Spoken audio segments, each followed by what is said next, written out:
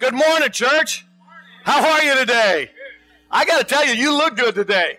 I don't say that every Sunday, all right? But today, y'all look y'all look good today. Uh, I am so glad you're here. You are in for a treat, man. I mean, it's always great when Tim's with it. But uh, it's extra special day. He's going to be doing a couple of special numbers. We're highlighting, I'll talk more about this in a few minutes, but we're highlighting his ministry called From Folsom to Forgiven. And so uh, you are in for some real treats today. But thank you for being here. If this is your first time here, you're a guest, it, um, you honor us by joining our church family today. There are some connect cards in the pew in front of you. I would love for you to take one, fill it out, put it in the offering bag when it comes by. Here's a promise we make. We will not beat on your door. We will not bother you on the telephone. We are not even going to harass you through email. We are simply through snail mail going to send you information about the church, tells you the ministries, the times, the activities, what we believe, hopefully answer most of your questions about what goes on around here. But we are so honored to have you here today. Uh, on Friday, it was Veterans Day. And uh, it is a special day for our nation when we uh, pause a little bit and recognize those men and women who have served our country, who helped us pre- pre- preserve uh, the, the, price of freedom. And so we are very, very grateful for them. Uh, the Hubbard Barrow Golf Tournament, which is one of the ways in which we celebrate that here in this area, named after the first two young men who were killed in Iraq and Afghanistan during the war. Um, and that went very, very well. As you know, we have close connections with that between Mike DeManuel and myself and his wife.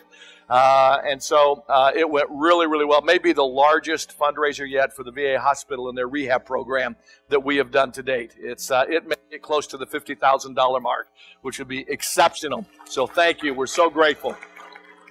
Some of you helped contribute to our team to uh, to make that possible, and so uh, we are we're very excited to share that with you. I've heard several of you watch the program that was on PBS channel uh, 18 on Thursday at seven o'clock. It was called The Conversation the cost for freedom. And as you know, a few folks from our church was on that panel. Some a lot of folks from our community, again connected to the uh, Hubbard Barrow Golf Tournament and the Buchanan Eight that uh, that lost their lives in that war. And it will be airing again. If you missed it, it's airing today at five o'clock, and uh, it's an hour-long special, and so you can watch it if your football game's on. Um, what, what do you call that thing you can do on your TV now? Yeah, DVR. D, yeah, Devo. Is that what? What's the word? What's TiVo? Yeah, TiVo. Oh, Devo. That's that's that's that's you, babe. Um, I'm kissing up right now. All right, making up for other things. Yeah. anyway, uh, you can you can watch that today, but it really is a, a, a very very good program. Uh, we want to take a, a moment at the outset of our service to recognize all of our veterans who are here today. Bless you. Bless you. Okay. And I need, I need four people who are not veterans to come up here with me real quick. Four people who are not veterans. Would you come up here? I got two. I got three. I got five. This is good. All right. All right. I want you all to help me. Okay. I'm going to give you a handful and I'm going to give you a handful and I'm going to, oops, oops, oops, I dropped one. I'm going to give you a handful and I'm going to give you a handful. Okay. Now, here's the deal. I'm going to have them stand up here in just a minute, everybody who served our country in one branch or another. And then uh, I want two of you. I'll take you and you. You will go to the back. In fact, why don't you head there now? We'll speed this up. Head to the back now. You two are going to work from the front back. Once I get everybody standing who's been a veteran, then I want you to go down and give each one of these a lapel pin. All right, this is a gift um, that's coming through the church family here at New Hope. This is um, th- th- this shows a veteran to two things. All right, a veteran to the cross of Jesus Christ and the American flag is what covers the cross. So it's it's both uh, a commitment to our nation as well as a commitment to our Savior. And so that is our gift to all of our veterans who are here today. If you served uh, in the United States Army, would you please stand? If you served in the U.S. Army, please stand. All right. If you have served, in a moment we'll give them an applause. If you have served, no, no, in a, in a moment we will. That's right. In a, in a moment we. I know. I, I talk fast. If you served in the U.S. Marines, would you please stand? All of our Marines, one up here. All right, thank you very much. If you served in the U.S. Navy, would you please stand? The Navy, all right, all right. Oh, got Navy boys and girls all over the room. All right, standing up, terrific. I'm going to pause right here and tell you a quick story. Yesterday, yesterday did a memorial service here for uh, C.W. Ashmore, Christie's uncle, and he was a 32 year Navy man, career in the Navy. All right. And uh, he retired after 30, and President Reagan actually asked him to come back to commission a new ship. And so he served two more years as he did that. And um, he said the greatest, um, um, oh, the greatest loss that he ever experienced in his years of serving in the Navy was when he had to fail um, a young man out of boot camp. And he was from the San Joaquin Valley, so one of his own kids. And he had to fail him because he couldn't swim. You join the Navy and you can't swim. but he encouraged that young man so much that young man came back, took swimming lessons, re enlisted, and nine months later came up to him and said, I made it this time. So that was exciting. That was U.S. Navy. Uh, and by the way, I have known some people who joined the Air Force and they can't fly. Um, U.S. Air Force, please stand. You served in the Air Force. Please stand. Terrific. U.S. Coast Guard. Coast Guard, please stand. All right. Merchant Marine, U.S. Merchant Marines. Anybody here served in the Merchant Marines? Okay, gentlemen, we go down the rows and please give one of these gifts to all of our veterans. Please applaud. Thank you.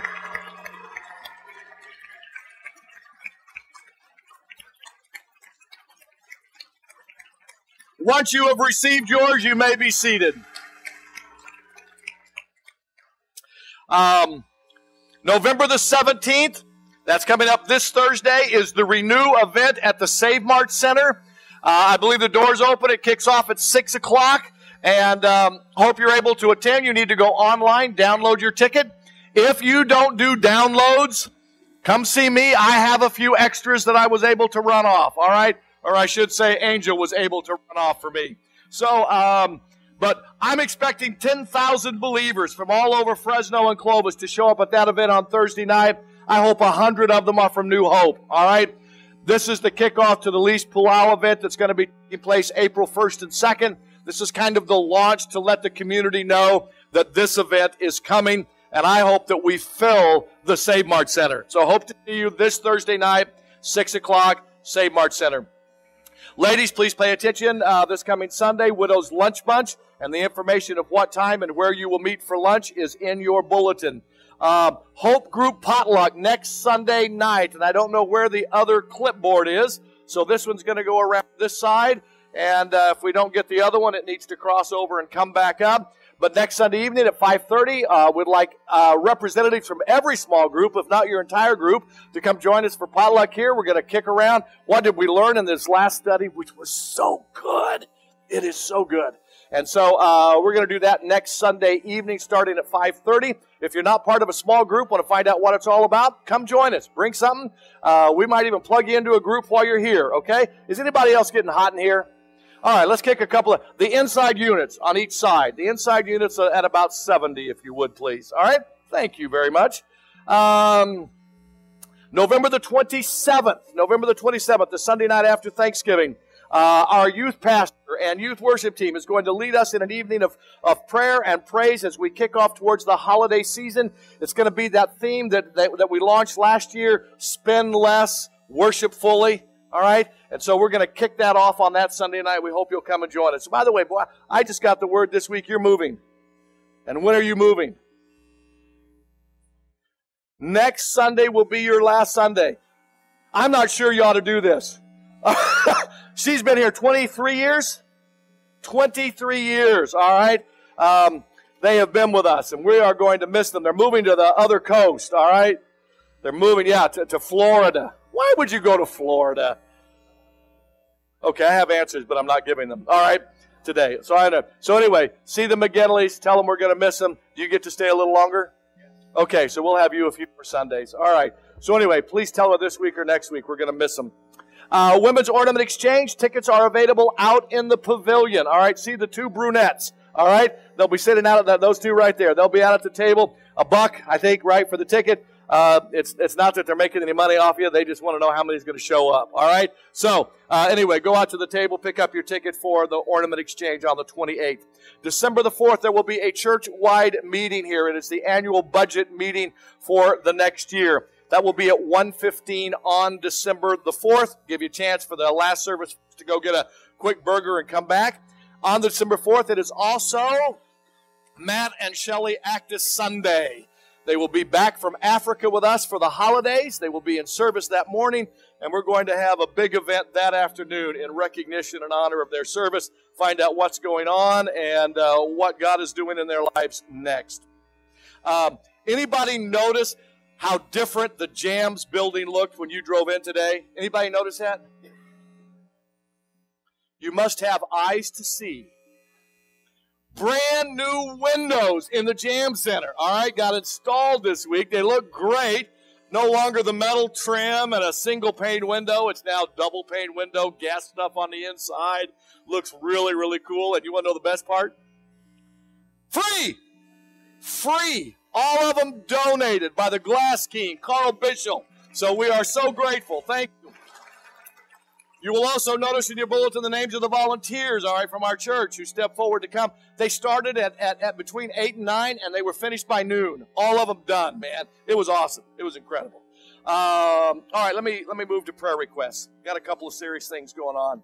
Uh, Lucy Best usually sits right back there, right, right about where Tony and Debbie are sitting right now. Uh, she's been here for over 20 years. Her husband Richard died about 12 years ago. And uh, Lucy been having some trouble swallowing things lately. Food wasn't tasting quite the same. Uh, really didn't tell her family about it for several months. Went to the doctor this week, first of the week, and uh, diagnosed with stage four stomach cancer. Um, let me tell you, Lucy's a trooper. Lucy is Lucy is showing the maturity of her faith in Christ. She asked what her options were, and she said, uh, "I think my best option is going to heaven. I do not want the chemo. I do not want the radiation. And uh, I am prepared for the next step of my life. I want to enjoy the health that I have until I no longer have it, and then I am ready for that. I spent an hour with her yesterday in her home. Her spirits are good. She's not. She's not a fatalist. Uh, she is faithful. There is. Um, Stanford saw her reports, and they said we want one more test. but before we make the final decision on, on the, if this is stage four for sure or not. We want one more test, and they're going to do that tomorrow. Uh, they've already contacted Hinds Hospice for uh, their interview later next week. And so please just be in prayer. For those of you who are friends of Lucy's, it'd be great for you to call, uh, make a time to go by and see her. I believe me, you will come away feeling better than when you went. Trust me, that will be a fact. Bobby Boren is also in the hospital. That is Jeff Boren's uh, mom. She has been a, um, a, a, a, cancer survivor for years now. What, over, t- over a decade, isn't it? 16 years she has been a cancer survivor. Last week I shared with you that she fell and broke her ankle. Uh, that's really a small issue at the moment. They're trying to schedule a surgery for that. But in, uh, in examining her, they believe that the cancer has come back. And so there'll be some important decisions for, for her and her family to make over the adventure of this next week. She currently is at uh, Clovis Community Hospital. So please be praying for the Boren family. The Higginbotham family is a pretty new family to our church, only for a couple of months. And uh, Stephanie Higginbotham's dad is in ICU at St. Agnes Hospital. He had a stroke earlier in the week. By midweek, he was doing much better. Thought he would probably go home by the weekend. And then on Friday night uh, in the ICU unit, he had a heart attack and a major setback. I was uh, with that family for about an hour yesterday afternoon, and uh, He's, he's 93 years old. He met his wife while he was serving in the military in World War II in Germany. He married a German gal. All right? Her name is Ursula. I told her I'd never met an Ursula before. The only other one I knew, I kind of had a pinup poster of her at one time in my life. All right? and uh, absolutely a delightful lady. And uh, please be in prayer for them and, and, and their families. Uh, God has been gracious with comfort in the Ashmore family, the memorial service yesterday for CW, the Kilgore and Bashir's family. We had a service this past week. I want you to remember the Matsons and Little and Scheffler family. That service will be coming up next Saturday. And then Joe Avila from our church, his sister Tony passed away at the end of the week. She had been a 10 year uh, survivor of cancer as well, and it came back. And uh, she had a really, really challenging week, but um, challenging no more. She is in heaven. Um, it is, it's Christmas time. You probably were shocked when you came in and saw Christmas trees on the stage today. This is uh, this is Prison Fellowship Angel Tree Day. Most of you have been with us for at least a year or more. You know what this is all about. For those of you who might be new, let me give you a brief explanation. Hardest moments for children who have a mom or a dad or both parents that are incarcerated, that are in prison, is Christmas time. Uh, they, they often feel the sting of rejection and neglect more than any other time of the year. That was discovered by a woman who spent some time in prison. And uh, she understood how her children felt, and she saw what the other inmates uh, were attempting to do to connect to their children at that time. And she came up uh, with this idea of Angel Tree, and it's been part of Prison Fellowship for getting close to three decades now. And so we've been excited to be a part of it for almost 24 years here. And um, what we have up here is you'll notice there's a pink ribbon and there's a blue ribbon. Anybody have an idea what that might mean? Okay, all right, it's pretty obvious. That's a girl tree and that's a boy tree. Um, and and uh, on those angels are names of children whose mom or dads or both parents are incarcerated. It has their ages, it has vital information about them that would be helpful for you buying a gift for them. And so, what we do is we go up and we take an angel off and uh, we read the information, we go to the store, and we buy a gift. The value of that gift is not to exceed $25. Understand what I just said. The value is not to exceed $25. You don't go buy a $50 item that might be on sale for 25 bucks. You could go buy a $25 item that is on sale for $15. But the value needs to stay right around that $25 because you've got different people buying gifts for different children in the same family, and we have to be careful we don't create jealousy in an act of trying to provide an environment of love. And so the value needs to be right around that $25 mark. Here's the deal. This is this gets this is always mass when we do this each year. But in just a moment, during in just a moment during our offertory, uh, we're going to invite you to get up from where you're seated and come up stage. Now, there's a set of drums right here, and there'll be a drummer playing those drums. So, you, one that needs to go around there, and the other ones are going to come up here. All right. So the boy. Um, in, just a moment, we're going to we're, we're going to do that. Uh, and you take the angel. There's a piece on it, all right, that will be torn off. You need to fill that out with your on the back side of the angel. Let me get one so I can demonstrate. Okay. On the back. See, you, you can't leave here with an angel without Janice having this little piece of paper on the back. Okay? You're going to take this angel, you'll go back to your pew, you will fill it out, and then we're going to have you hand those pieces of paper to the center aisle. And then ushers are going to come by and pick up those pieces of paper after they've taken the offering. All right? We must otherwise, if we don't get that back, we have a lost child. Okay? And then there's going to be somebody very, very disappointed because we have no way of following up. All right? So you will come up, you will get your angel, you will go back to your pew, you will fill this out, you will pull it off the back, and then uh, you will pass it to the center aisle. Are we clear as mud on that? Okay, really, really good. Babe, do you want this one? Okay, all right.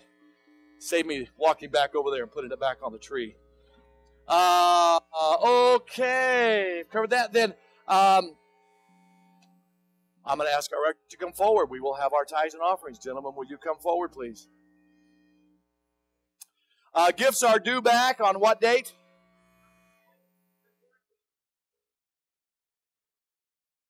Okay. All right. Uh, it appears we're having some technical difficulties here. Okay, all right. Would you join with me as we pray? Our Father, we love you. We thank you for the life that you share with us. We thank you for the difference that you make in our world. Father, this has this week has been a roller coaster of a week, and uh, and yet you have been sufficient for every single need. And we trust you today with our needs, not only for today, but for tomorrow, for next week, for the future. Lord, for the technical issues that are going on, the, uh, you know what? Even if they don't work, you will not be stopped today. And we will trust you for what you want to do in our midst. Thank you for the privilege of sharing and making a difference in the lives of those who've had grief this past week, for those who are facing moments of uncertainty with medical issues, we trust you, Lord, with all of these needs. Um, Father, we, we, we pray for Bobby and and, and, and her stay in the hospital. We commit a needs to you for the Higginbotham family at St. Agnes, uh, for those who are awaiting test results and more information, for the McGinleys, Lord, in their, uh, in their move. Uh, we, we trust that to you and know that you're big enough for the task. For what you want to do in our midst today, I hope our hearts will be open to receive your message for us. We love you and adore you. In Jesus' name we pray. Amen. Hello, everyone. I'm Tim Kepler from the From Folsom to Forgiven Foundation. Today, you're going to get a unique opportunity to see one of our outreaches in action on the yard at Salinas Valley State Prison, where they haven't had any outside ministry for over 20 years. You will also hear some interviews from inmates and how they feel about our ministry time today. Thank you. Awesome God. God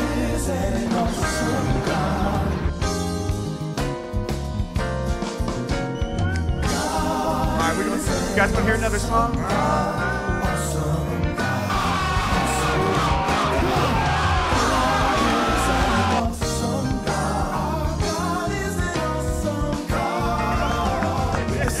I was sitting there praising and worshiping God and having a beautiful time with these brothers and beautiful voices that were singing and praising God. Brothers I never thought would raise their hand and worship God is out here doing that. And to me, that's powerful. In the 24 years that I've been locked up, I've never seen anybody come onto the yard like this. I've never seen anybody be able to walk around a yard and mingle around with inmates. We would never get the opportunity to speak to anybody. We would never get the opportunity to hear the gospel preached in the way that it's being preached today. It's priceless. It lets me know that people do care about, you know, those men that you know, or seem, may seem hopeless. That might be the difference between somebody perishing and somebody having eternal life. God continues to open up so many doors that allow us to go into the prisons and minister to inmates and their families. I want to say thank you to all of our ministry partners because without you, none of this would be possible. I believe that God is going to continue to open up many more doors for us in 2014, and we will have the opportunity to minister to thousands of inmates across the country. Once again, Thank you so much.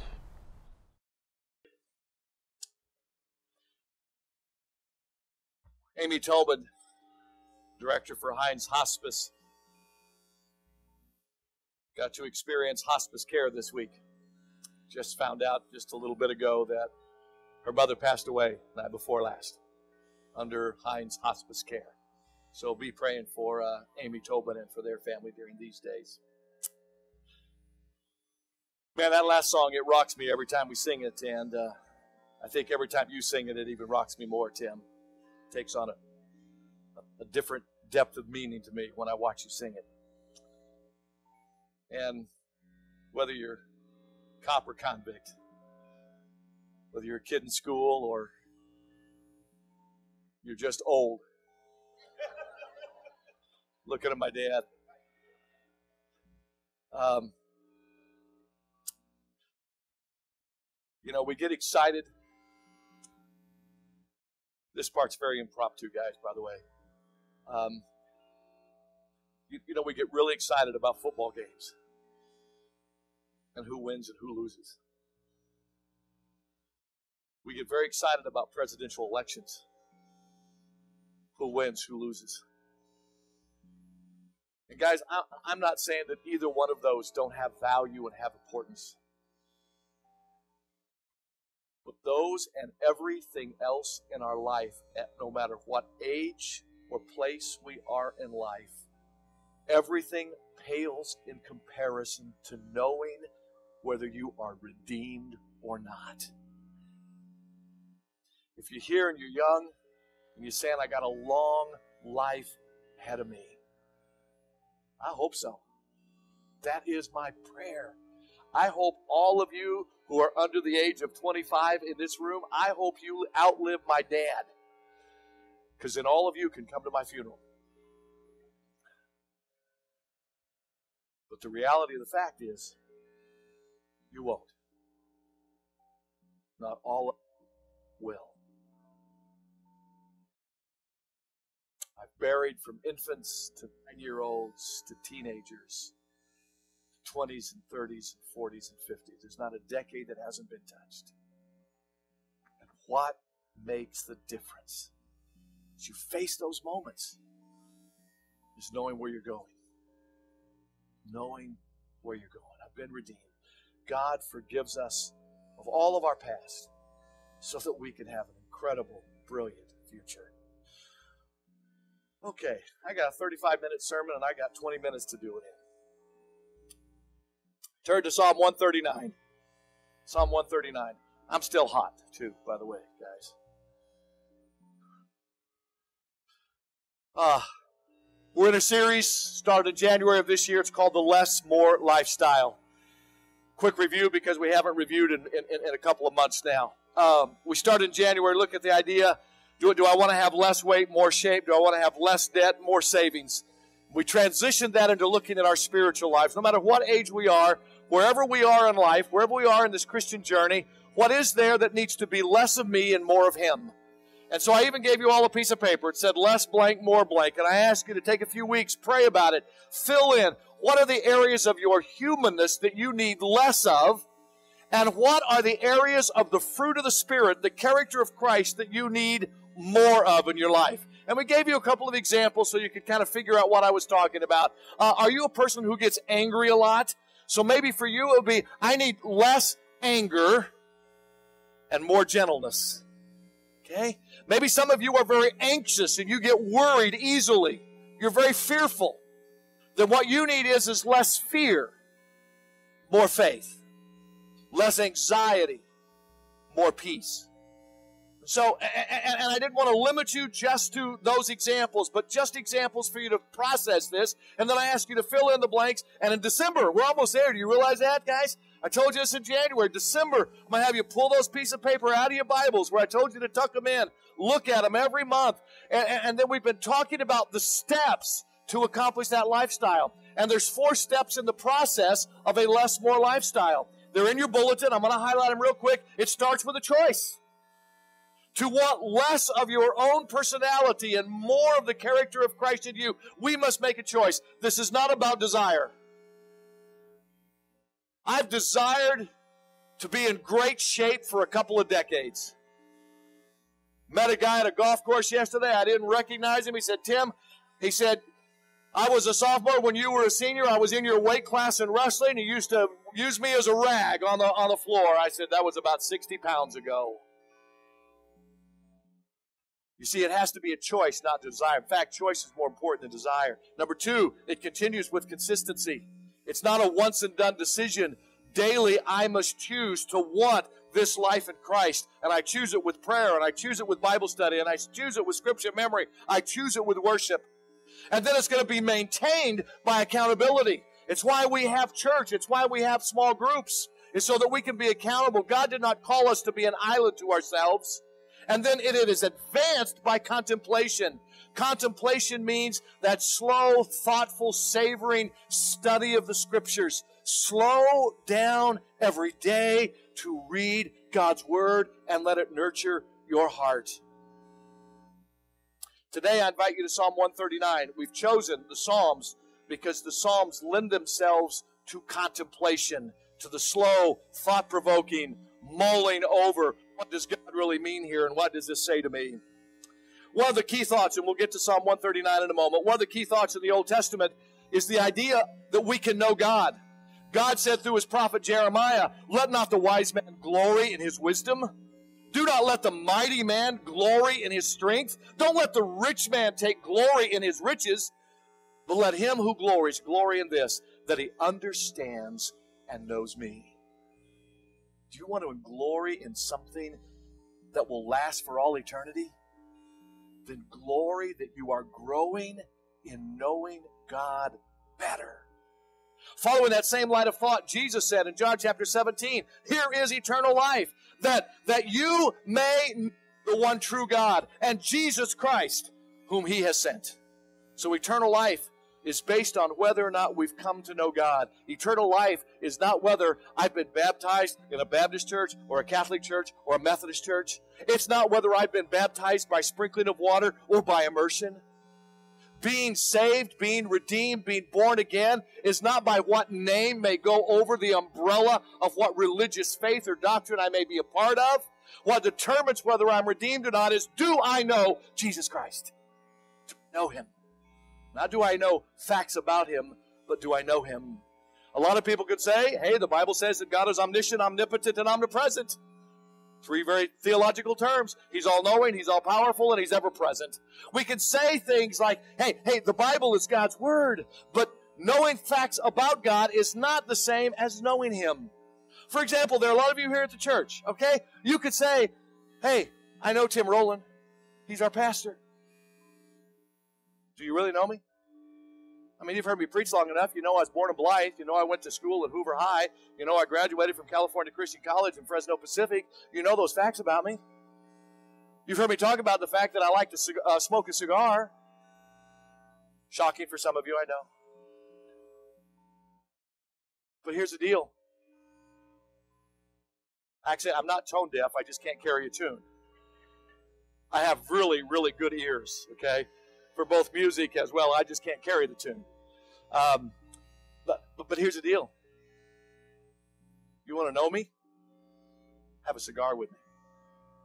You'll get to know me better. You know about me because you stand and you, you hear me every week or every other week or once a month or whatever it is. But you don't really know me until we sit down and we have a conversation, until we ask questions, until we explore what's likes and dislikes. In order to go, know God, we must be willing to commit to His for our lives. 1 John 2 says this By this we will know that we know Him. Okay, you want to know that you know Him? This is not rocket science, folks. This is not, you, you don't need a PhD in anything. John's going to tell us if you want to know that you know him, keep his commandments. Period. That's it. He who says, I know him, but does not keep his commandments, you're a liar.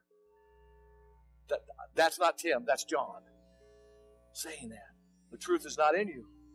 But, but even doing what God commands is no guarantee that we will really know Him. Because to the people of Israel in the Old Testament long ago, God said through Hosea, For I desire mercy and not sacrifice, and the knowledge of God more than burnt offerings. God was telling Hosea to tell the people, hey, you guys are doing all the right things at all the right times, but you ignore me all the time. See, that's religion with no relationship.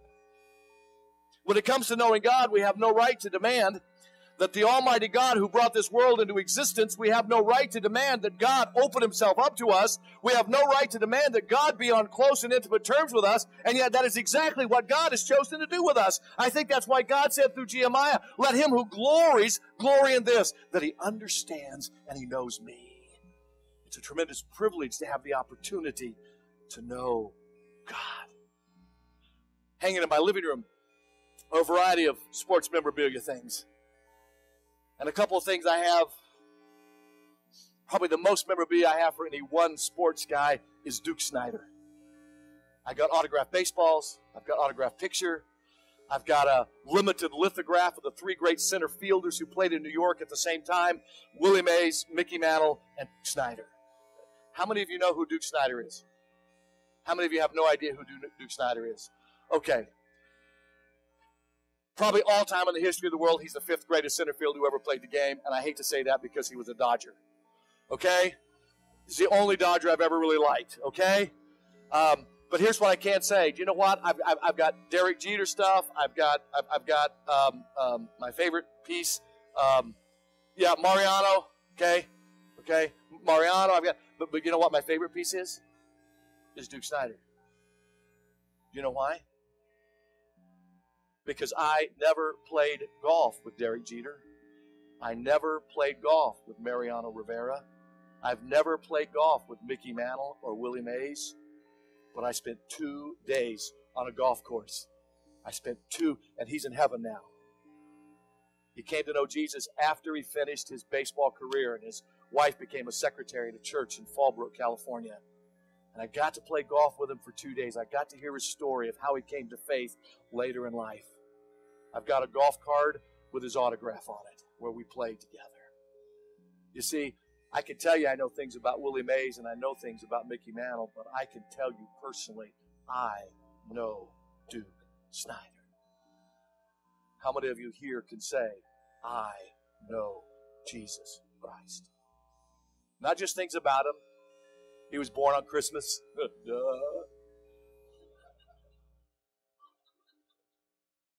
but I know him personally. And to know God is not just intellectual, it's this intimate personal relationship. If we're not careful, we'll end up like the Israelites in Israel's day. Psalm 139, I want to turn this just a little bit for the remainder of our time this morning. Now that we know that God already, that we now that we know that we, me say this differently. Now that we know that God wants us to know Him, we need to come to grips with the reality that God knows us. It's a two way street thing. We don't only, He not only wants us to know Him, but He wants us to know how well He knows us. And that's what Psalm 139 is all about. And this psalm can either be a bit frightening when we discover how well He knows us, or it can be comforting. It depends on our perspective. I want you to think for a moment about what it would be like for somebody to know everything about you. It's not unusual to hear somebody complain, nobody really knows me, nobody understands me. Sounds like Linus. And it's true that there's generally a shallowness to our, our relationships. When somebody walks into a room, what do we normally say to them? Hey, how you doing? And what do they normally say back? Oh yeah, I'm fine. Their kids are running them crazy. The wife's about ready to strangle her husband. They are so mad at their employer, they're ready to quit. And yet when you say, how you doing? I'm fine. I'm great. Hey, we've just come through a presidential election. A lot, a lot was made about what Trump said on a bus. What he said he shouldn't have said. What he said he should not have said. It was not nice. He described it pretty well. It was, it was locker room trash talk. And it belonged in a trash can. Men, I'm not going to talk to you ladies because I don't know if you talk locker room trash. Okay? Because I've never been in a locker room. Guys, I'm not going to ask for a show of hands because it'd be very embarrassing. But how many of us at some point in our life said something we're ashamed of today? And how would you like it if that was recorded and broadcast all around the world? We have a screen up here.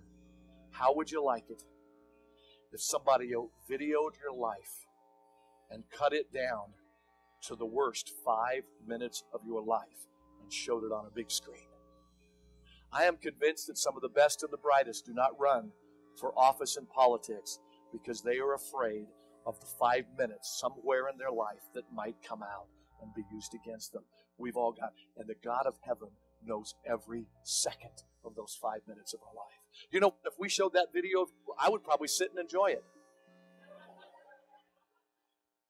But as soon as mine came up, out the door. I'm gone.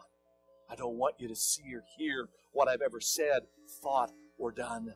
Many years ago, Bette Midler came out with a beautiful song. It was called From a Distance. You all remember that one? Was a beautiful song. I'm not really sure what she meant by it. I was confused at which way to take it, but but but there's options, perspective. The, the words of the song go, God is watching, God is watching us, God is watching us from a distance. I don't know if she was comforted by the fact that there is a God who watches after us, or if she was bothered by the fact that God's a long ways off. I'm not sure where she stands in that area, but she's absolutely right. God is watching you. I grew up, I grew up in a church where we sang a song in our hymn book. You know what I realized this weekend? My grandson Bo, he will never know what a hymn book is. He will never know what a hymn book is. And it's really sad for all you kids at church today. I learned how to hold hands with a girl under a hymn book when I was in church. You guys will never get to do that, all right?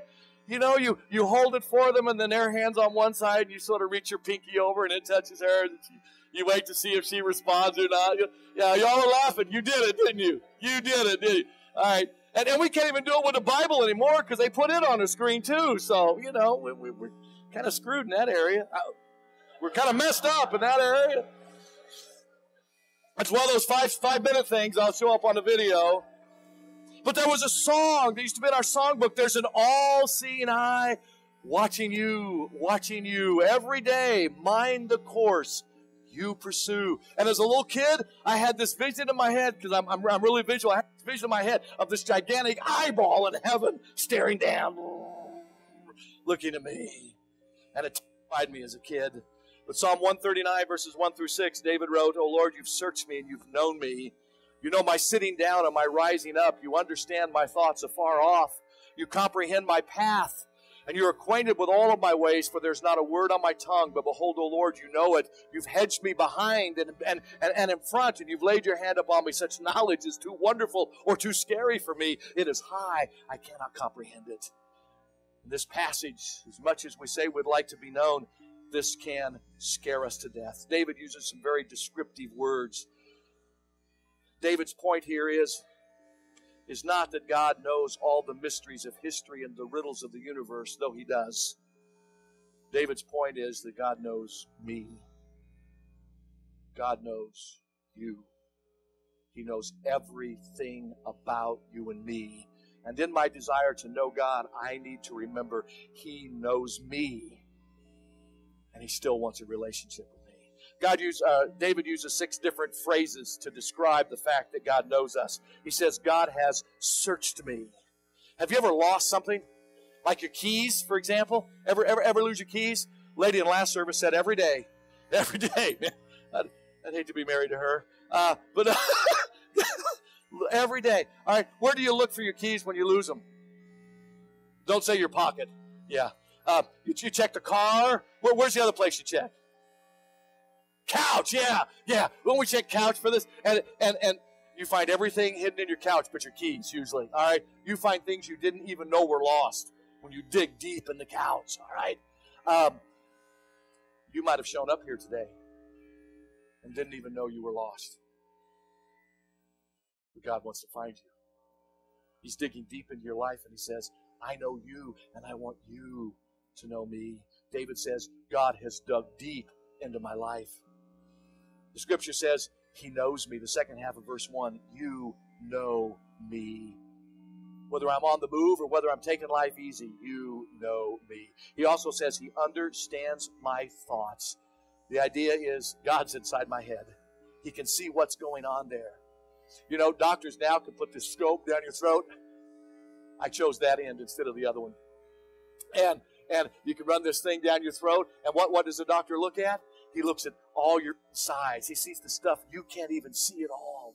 Do you realize God can do that? He sees inside of us the stuff that we don't want to see, the stuff that we think we've buried. He then says in verse 3 He comprehends my coming and my going. God examines us thoroughly, knows the direction that we're headed. The fifth thing he says is He's familiar with our ways in verse 3. I can't get away with anything. That's the loose translation. God knows my habits, my strengths, my weaknesses. God, Here's the deal, folks God's in your business. God's in your business whether you want Him to be there or not. He knows. Um, I, don't, I don't know if Dan was on the department yet. Um, when, when my oldest son turned 16, there was only about 35 or 40 officers, I think, and I knew most of them pretty well. And um, I, I, bought Brant for his first car. I bought him um, a 1968 Oldsmobile Cutlass red convertible with a white top. It was nice. It was sweet. It was cheap. Um, the guy had refurbished it. He was short on money. He needed some quick cash. I took advantage of him. Um, and, and, but here's why I bought it. Everybody would recognize that car in the city of Clovis. It wasn't enough. I told every officer friend that I had, my son just turned 16. He drives a red Cutlass convertible with a white top. Pull him over anytime just to say hi to him. All right? Just just pull him over anytime and just say hi. A couple did. He did deserve it every time. God knows my words before they're even off of my tongue. Ooh, knew, yeah. Uh, verse 6, loosely translated, says, It blows me away how well God knows me. There was a man who offered a little boy who was just coming out of Sunday school class a dollar if he could show him where God is. Listen to the wisdom of a little boy. The little boy said, Mister, I'll give you a dollar if you'll show me where God ain't. God is in your mind. We try to hide from God. Let's try to reduce the amount by which we are known. We try to find ways that we can hide things from God. I mean, we, we want to be like children playing hide and go seek in the living room. We pull a blanket over our head. Okay, they can't see me now. We try to put foil on our windows thinking God can't get in. That won't help because God can see in the darkness and behind the foil. Verse 13, significant for several reasons. David is saying, even before my mom gave birth to me, God, your spirit was there. You were knitting me together. I wasn't just an outgrowth of evolution, but you were right there in the womb. I couldn't get away from you even before I was born. Again, a summary statement when I awake, I am still with you. There is no place we can go that God isn't. Let me let me wrap this up and bring it home. For a faithful child of God, for a person who loves God and, and, and wants to keep his will and his commands. The thought of God knowing us intimately is not so frightening. In fact, it's rather comforting. I think the comfort of it all comes out of the very end of this psalm. The last two verses set the context for all the verses before. For these last two verses give us a context of security and acceptance. David said in those last two verses, Search me, O God, and know my heart. This is David who had done some pretty crappy things in his life. David, this is the late in David's life. He's matured through some of his failures. And notice what he's saying. Knowing how well God already knows him, David says, God, search me, know my heart. Try me. Show, reveal to me my anxieties. See if there is any wickedness left in me, and then lead me in the way everlasting. David says to God, just search me more and show me what still needs to be changed? Because God, I know that you love me. I know that you will not abandon me. And I know that you are prepared to make a difference in my life. It boggles my mind. Asking God to search you more than He's already searched you is like, like asking the IRS, who has just audited this year's taxes, say, hey guys, while you're here, look at my last seven years. I mean, would you do that? No. And yet with God, that's what David is doing. Search me and know my heart. So God is this all seeing eye, not quite the eye I envisioned when I was younger. But Psalm 139 describes not the eye of a critic that is searching for the opportunity to put us down and squash us. But he looks at me and he looks at you with a vision of compassion and love. It is the eye of a loving father who wants the best for his kids. I'll close with this. I told this story yesterday. I just came across it earlier in the week. I think it's perfect for where we are. God loved us. He wants an intimate relationship with us. And look at how far He's come to do that. His Son left heaven and came to earth. He came to be amongst us, to connect with us, so that we could learn we can have intimacy with a transcendent God. And this story illustrates it. Don Miller, in his book, Blue Like Jazz, tells this story. Don had gone to listen to a folk singer at a, uh, at a concert, and the folk singer ended up telling the story of a friend of his who was a Navy SEAL. The folk singer said his friend was performing a covert operation, freeing hostages from a building in some dark part of the world. His friend's team flew in by helicopter off of a uh, off of a carrier out in the ocean, and they made their way to a compound and they stormed into the room where the hostages had been imprisoned for months. The room, the folk singer said, was filthy and dark. The hostages were all curled up in a corner and they were terrified and they closed their eyes. When the SEALs entered the room, they heard the gasps of the hostages. They stood at the door and they, they whispered to the hostages, to the prisoners, Hey, come, we're here to rescue. We're Americans. The SEALs asked the hostages to follow them, just as Jesus has asked us to follow him. They sat there on the floor and they hid their eyes in fear. They were not of, of, of, of, healthy mind or sound body, and they didn't really believe the rescues were Americans. The SEALs stood there not knowing what to do. They couldn't possibly carry every one of the prisoners out on their own. One of the SEALs, the folk singer's friend, he got an idea. He laid down his weapons. He took off his belt with grenades on it. He removed his helmet and he crawled into the room and he crawled between two of the prisoners and he laid down between them. He put his arm around one and he reached over and grabbed the hand of another. He softened the look on his face He was trying to show them, I'm one of you. Little by little, the prisoners realized prison guards would not have done this. He stayed there for a while until some hostages began to open their eyes and look into his eyes. And when that had happened, he said, I'm here to rescue you. Will you follow me? And he stood up. One POW stood up, and then another, and then another. All of them were now on their feet, and the story ends with all of the hostages safe on the American aircraft carrier. I got to be honest, there were times when I heard messages about Jesus saying, Follow me, that it scared me. Where's he going to take me? What's he going to do with me? Will he take me somewhere and leave me? God said the best way I can communicate to all of humanity is to become like them and show them through Him how they can become like me. Jesus removed His deity and His power, His influence in all of eternity. He was born through the womb of a woman, and He lived as a man. He snuggled up next to us. And today, now, risen from the dead, He asks you and me, I know you. I know the worst five minutes of your life, and I love you.